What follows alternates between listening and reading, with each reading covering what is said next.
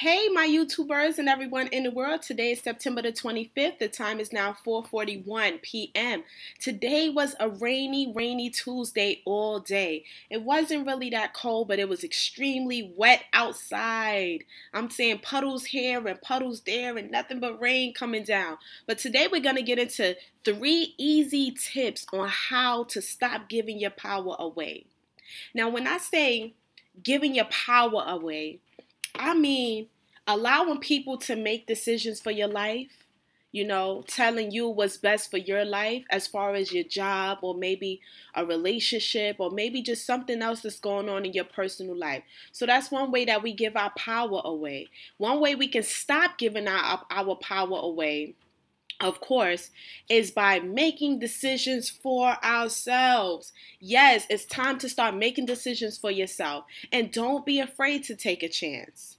Don't be afraid to take a chance. If you make a decision for yourself, completely stick by it 110%. Even if other people do not agree with what it is that you're doing, if you solely believe in your heart that what you're doing is right for you, then follow through with it despite what anyone else has to say because it's your life and you're walking your own path. So, our second easy tip on how to stop giving our power away, in my opinion, is taking chances in life. How are you going to ever know if something works for you if you've never tried it before? So this is one this is easy step tip number 2. We have to be willing to take chances in life because life is is is about taking chances. If something doesn't work for you, that's cool. See if there's something else that's going to work for you. But how would you know if you never taken a chance before? So you got to take chances. Tip number 3 on how to stop giving your power away. Honestly, I believe that allowing people to get under your skin gives so much power away.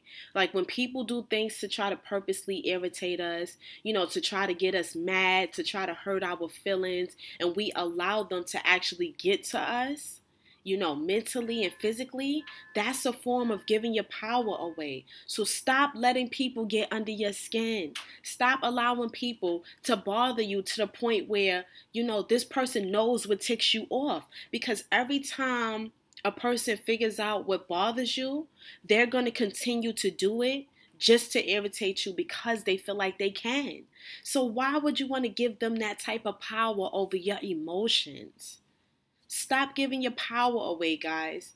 You know, I, I feel like another form of giving your power away is allowing people to dictate, you know, like I said before, what's best for your life, whether it's a relationship or whatever. The point is, no one is walking your path the way you're walking your path. You're the only one that can walk in your shoes. So at the end of the day, I hope that those three tips helped you guys on how to stop giving your power away. You know, stop allowing people to get under your skin and get the best of you. Stop allowing people to make decisions for you and what's best for your life, right? And and, and just, you know what? Learn to take chances in life. Life is about taking chances. At least if we take a chance, we can say, okay, we tried that and it didn't work for us, or we tried this and it worked perfectly fine. You know, sometimes you just got to readjust certain things and make it work for you. So, like I always say, guys, like, comment, subscribe, and share. And of course, visit my website at shoploveronline.com. Until next time, you guys be safe and stop giving your power away willingly. Peace.